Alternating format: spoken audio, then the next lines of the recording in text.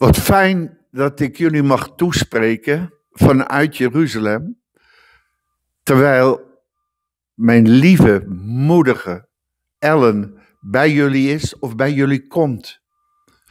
Omdat ze tijdens haar twaalf dagen in Holland drie samenkomsten heeft. En ze heeft mij gevraagd om wat te zeggen als inleiding, omdat wij samen zo dankbaar zijn voor jullie hulp, liefde en ook jullie gaven, die we zo nodig hebben onder de druk waar we deze laatste tijd doorheen zijn gegaan. Maar we danken de Heer voor jullie. En ook al zou jullie niet kunnen komen na die samenkomsten, hoop ik dat dit woord jullie hart zal verwarmen. We leven in zo'n moeilijke tijd. Jezus heeft daarna, daarover gesproken.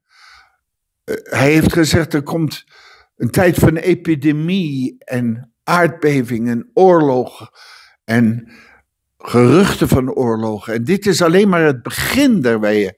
Dus we moeten het ook niet te vlug invullen van, dit is eh, alle teken van de antichrist. De christenen hebben te vaak het vlug willen invullen. Ik had een vrouw uit Amerika die zei: Ik heb dat boek gelezen. 88 redenen dat Jezus zal terugkomen voor zijn bruid en gemeente in Rosh Hashanah 1988. Nou, dat is al een hele hoop jaren geleden. We willen te vlug invullen.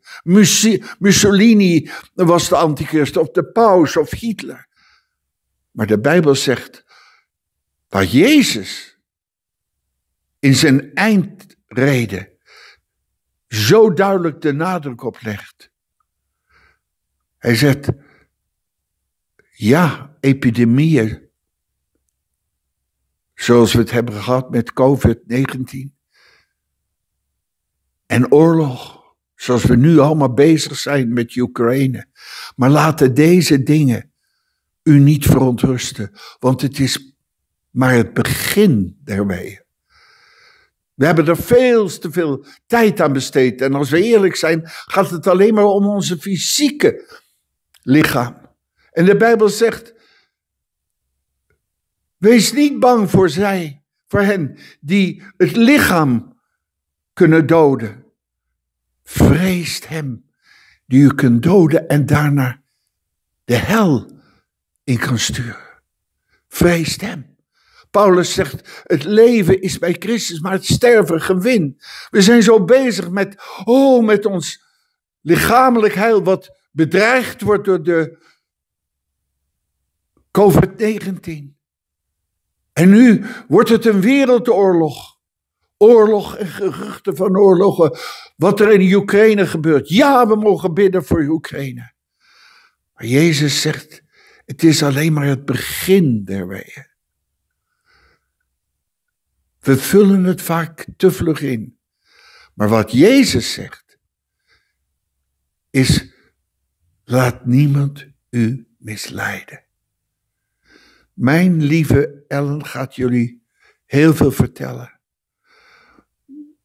De tekst die zij vaak aanhaalt en die waar is, is dat, en die is waar van vandaag over deze tijd, duisternis zal de aarde bedekken. Duisternis de naties, maar mijn licht zal opgaan over Israël. Toen de duisternis over Israël viel en Titus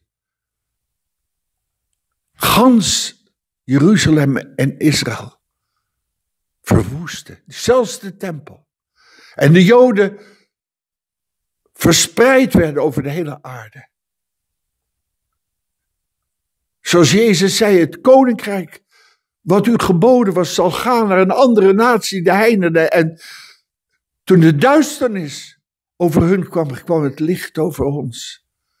En de apostelen gingen naar ons, Thomas naar India, Matthäus naar Egypte, Paulus en Petrus naar Europa. En nu is het net andersom. De duisternis en de verwoesting zat zelfs in, in het openbaring. Dat als de stad Babylon valt, zullen alle steden van de wereld zoals vallen. Zoals David Wilkerson, een keer tegen mij zei, als ik, toen ik bij hem was. Als ik naar New York kijk, zie ik alleen maar een kerkhof. Er komt een enorme duisternis over de steden en over de landen. Waarvan wat er nu gebeurt, waar we allemaal zo druk over zijn, maar een voorspel voor is.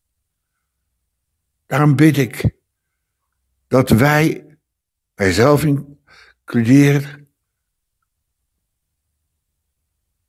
de Heer mogen zoeken zoals nooit tevoren. En te mogen weten dat terwijl de nacht komt waarin niemand meer kan werken en de antichrist gebruikt wordt door, heer, door de Heer zoals de duivel Job zuiverde.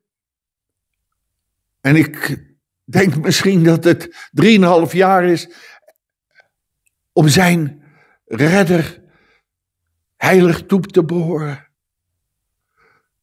Dat terwijl die duisternis komt en die nacht waarin niemand kan werken, waar jij ook bij hoort, mag er een licht komen over Israël. Gans Israël zal behouden worden. De Heilige Geest zal vallen. Deze keer niet op het Pinksterfeest op 120, maar op het Loofhuttenfeest op gans Israël. Zoals Jeremia het zegt, te tien dagen zal er niet één zijn die tegen de ander zal zeggen, ken de Heer, want ze zullen mij alle kennen. Pinkster gebeurde tot 120 Joden. De dubbele deel van Gods geest op het Loofhuttenfeest zal de grootste opwekking zijn. En tien uit iedere natie zullen de slip van hun Judese man vastpakken. Niet, just, niet alleen maar bidden en wachten op onze opname, want de bruid heeft met Israël te maken. Als Israël vol wordt van de Heilige Geest, is ze deel van die bruid. En de Heer komt niet voor een verdeelde, smerige bruid, maar voor een bruid die zichzelf klaar heeft gemaakt voor haar bruidegom. Mag jij daarbij zijn? En mag je ook weten dat jij behoort bij Israël, ingeënt, zaad van Abraham. En dat uiteindelijk, als je dat wil, je mag komen hier, tien uit iedere natie, om de slip van een Judese man vast te pakken. Jij hoort erbij. Jij bent kind van Abraham, ingeënt in Israël. En als de Heilige Geest straks zal vallen over Juda, modern Israël, zal Ephraim en Juda één stok worden, één volk. Zoals Jezus het zei, ik heb Schapen die nog niet tot de kudde van mijn volk behoren, maar ze zullen worden. Eén kudde. Jij bent deel van Israël. Niet van het christendom, maar ingeënt in Israël.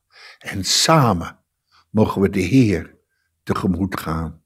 Als hij komt, mogen wij vrij zijn van elke binding en elke zonde, zodat we rein als een spotless bruid hem mogen verwelkomen. Nu in ons hart en leven. En dan, als hij komt op de wolken, in majesteit en macht.